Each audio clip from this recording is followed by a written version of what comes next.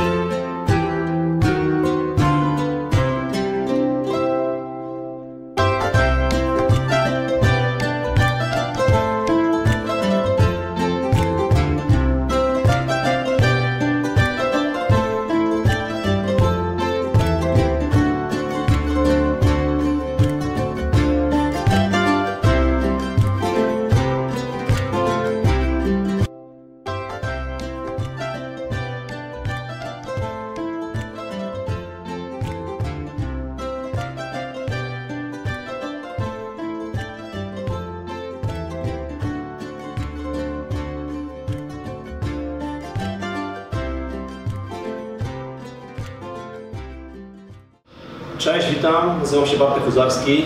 Jestem kolarzem zawodowej grupy Bora Aragon 18, uczestnikiem największych wyścigów na świecie, m.in. Tour de France, Giro d'Italia, Volta Espania. Jestem również e, założycielem i głównym mentorem dla dzieci w mojej Akademii Kolarskiej. E, W materiale tym zwracam się do Was z prośbą o wsparcie naszego projektu na portalu Polak Potrafi, e, ujednolicając wszystkie potrzeby, z którymi się borykamy na co dzień, żeby żeby Akademia fun- funkcjonowała, y, gdzie potrzebujemy no, dla sporej grupy dzieci y, i rowery, i kaski, i stroje, i buty, i, i trenerów, żeby to wszystko prowadzili. E, Występujemy z projektem uzbierania funduszy na zakup e, dziewięcioosobowego busa, w którym dzieciaki będą mogły jeździć na wyścigi i rozwijać swoje skrzydła w tym kierunku właśnie najważniejszym, jakie jest, jakim jest trenowanie kolarstwa, czyli startowanie w.